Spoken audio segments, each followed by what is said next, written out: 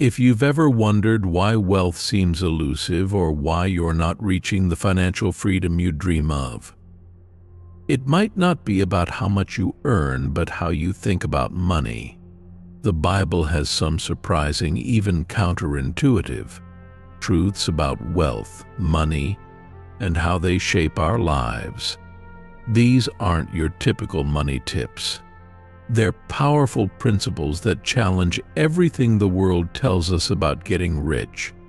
Ready to uncover the verses that could transform your mindset and unlock true abundance. Here are eight Bible verses that speak to wealth and money.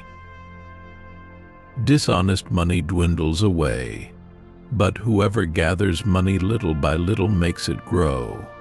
This verse encourages the idea of steady, honest accumulation of wealth rather than seeking quick gains. For the love of money is a root of all kinds of evil.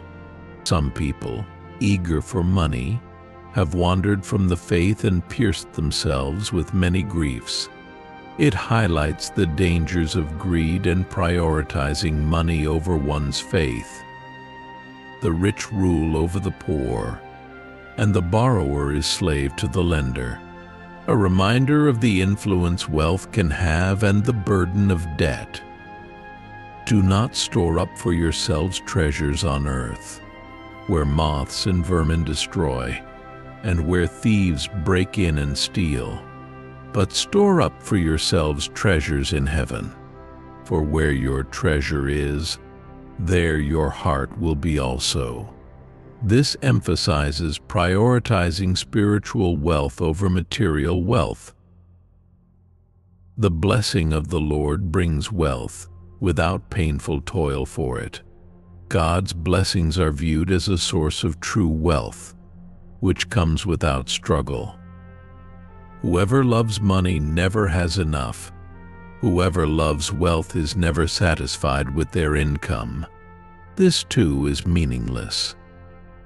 It speaks to the futility of endlessly pursuing wealth for satisfaction. Then he said to them, Watch out.